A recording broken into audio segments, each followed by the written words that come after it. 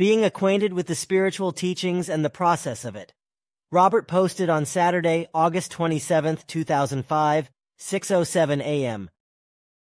Dear Billy, in the previous incarnations of my spirit form, neither Figu existed, nor probably your spiritual form was incarnated, as well at least with tasks as a prophet. In my present life, I was educated in a conventional way, Catholic religion included. Nevertheless, I have been able to identify, recognize you, the Figu, and to understand that there are a lot of tasks to fulfill.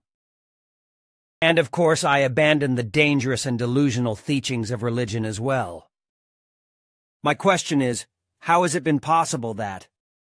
I mean also considering many previous lives probably spent in wrong teachings. It could seem something really difficult to happen. I know quite well that still there is a lot of hard work to do, and that this is just the very beginning.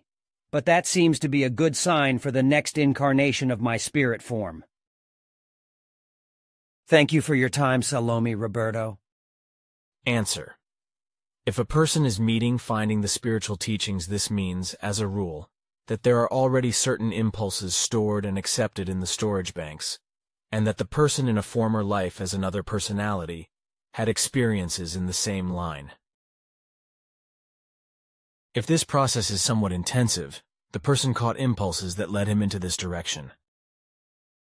If the spiritual teachings are found encountered for the first time, the process feelings, etc., is slower and not intensive,